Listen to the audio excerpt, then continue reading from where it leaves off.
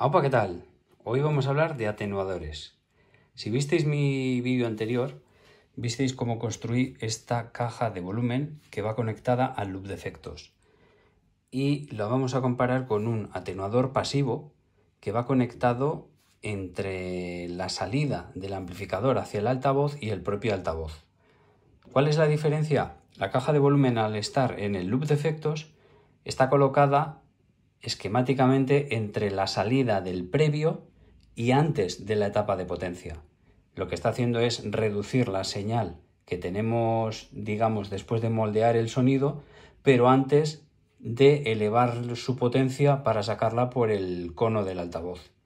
Mientras que este está colocado después de la etapa de potencia, una vez que sale todo el circuito del amplificador y justo antes de llevar esa señal al altavoz. Lo que hacemos es reducir ese bataje, esa potencia que va hacia el altavoz.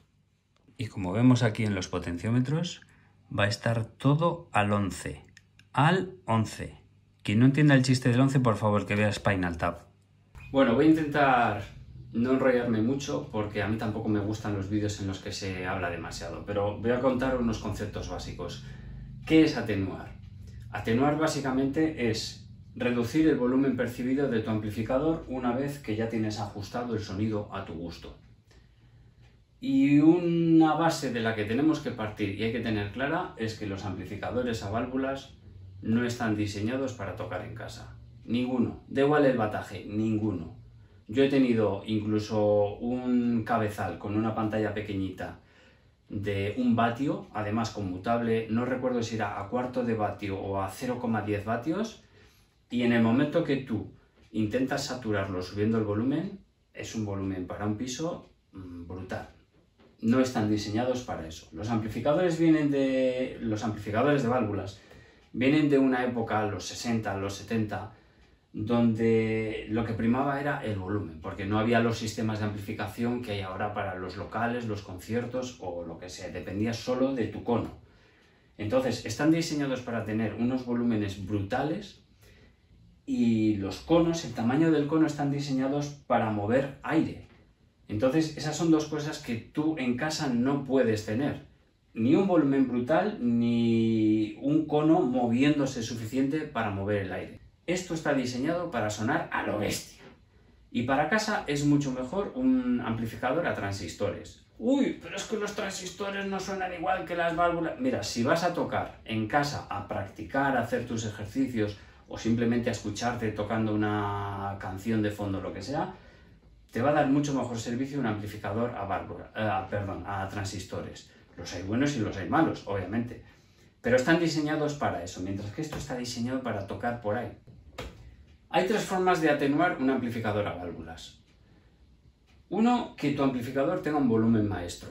Esto es que después de todo el circuito, del previo, de la etapa de potencia, tienes un volumen final donde una vez que tú has ajustado todo tu sonido, ecualizado, saturado, etc., tienes un volumen final donde dices, aquí me pongo a mi nivel. Pero la mayoría de amplificadores, sobre todo los basados en modelos antiguos como este que está basado en un plexi, no tienen volumen maestro. Y la saturación de su sonido, esto es el grano, se consigue subiendo el volumen mm, prácticamente a tope en el caso de este. Y el volumen a tope de este amplificador, que está diseñado para sonar en la plaza de un pueblo, en un local grande, eh, en un piso esto es inviable, inviable. Entonces hay que meter herramientas en medio. Y tenemos eh, la caja de volumen que hice eh, la semana pasada, que va conectada al loop de efectos, como he dicho, y el atenuador que va entre la etapa de potencia una vez que sale la señal hacia el altavoz y se coloca en medio entre esa señal que va al altavoz y el propio altavoz.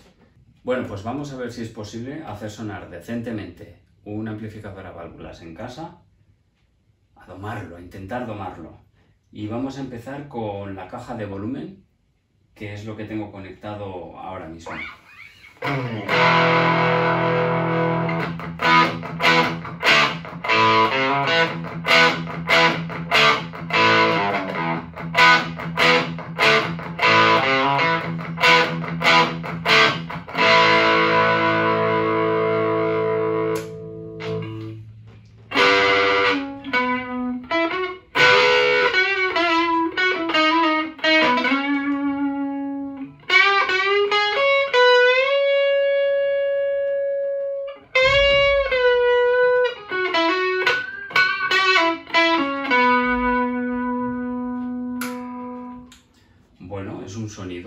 Es aceptable. Por cierto, lo que no he hecho es para ver el volumen real que tiene mi voz. Ahora la estoy levantando un poco. Porque los vídeos comprimen un poco el sonido, pero para comprobar el volumen real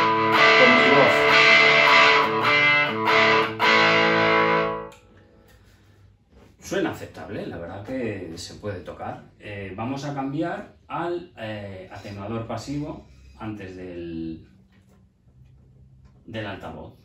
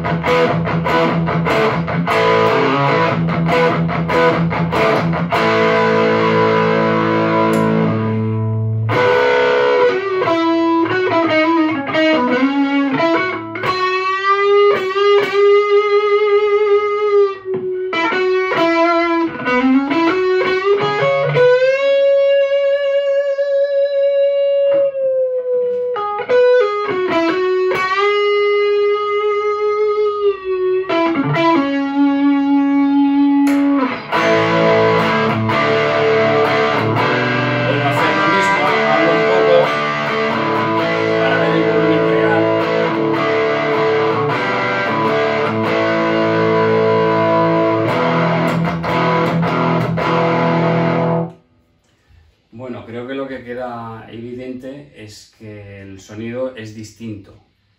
No sé si se percibe bien en el vídeo, mm, desde luego con el amplificador, perdón, con el atenuador pasivo, eh, se nota que estoy recibiendo todo lo que dan las válvulas, las de previo y las de etapa de potencia. Tengo mucha más pegada, tengo el sonido mucho más lleno, mientras que con la caja de volumen se nota que el sonido es aceptable, es decente, pero me estoy perdiendo algo. Hay un cuerpo, un algo que no, que no está ahí y probablemente sea la, la etapa de potencia. Pero bueno, son dos herramientas que, que tenéis, mm, ninguna de las dos es muy costosa. eh, la caja de volumen me la he hecho yo, pero vamos, las podéis comprar, hay varias marcas que las hacen entre 40 y 60 euros aproximadamente. Y el atenuador pasivo tampoco vale mucho, hoy en día marcas que por 60, 70, 80, 90, 100 euros tenéis cosas muy aceptables. En otro vídeo, este pretendo que sea más de conceptos básicos. En otro vídeo compararemos el atenuador pasivo con el siguiente nivel, que es eh, un atenuador reactivo y con reamplificación a válvulas, que lo tengo ahora mismo prestado, no tengo prisa, ya lo haremos, y el propio aparato vale más que el amplificador, para que os hagáis una idea. Entonces el sonido es muy bueno, pero claro, hay que buscar un poco el equilibrio de qué necesito y, y cuánto me quiero gastar. Y por último, quiero comentar una cosa. Enseguida en todos los foros, en todas partes, cuando pones un atenuador, siempre surge la pregunta, ¿chupa tono? Eh, ¿Se come los agudos? ¿Se come no sé qué? Yo creo, eh, no lo sé, habéis escuchado...